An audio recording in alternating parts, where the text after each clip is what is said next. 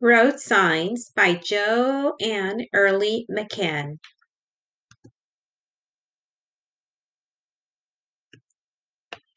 Road signs tell drivers what to do. Drivers must stop at stop signs. They look both ways. When it's clear, they can go. A P stands for parking. A red circle with a slash means no. Cars cannot park here. Drivers must follow the law. A speed limit sign tells them how fast they can go. The number means miles per hour.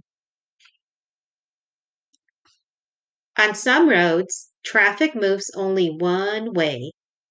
An arrow shows drivers which way to go.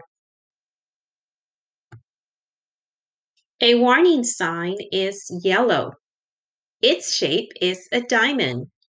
A curved arrow means that the road curves ahead. A railroad crossing sign looks like an X. Drivers must slow down, look, and listen. If a train is coming, they must wait. A dead end is a street that has no way out. A sign tells drivers they cannot go through.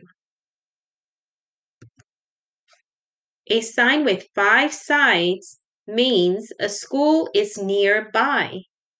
Drivers must watch out for children.